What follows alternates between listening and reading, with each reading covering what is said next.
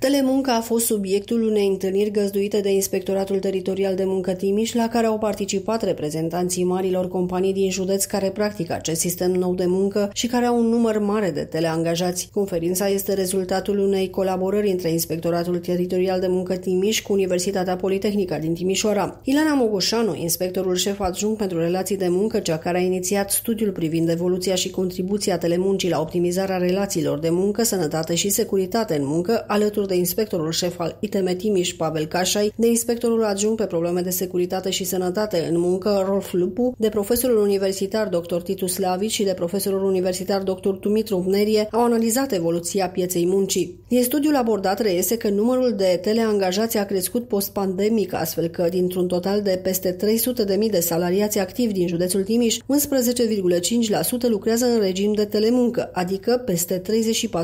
Participanții la întâlnire și-au manifestat interesul și susțin că astfel de acțiuni ajută foarte mult piața muncii, dar și angajatorii.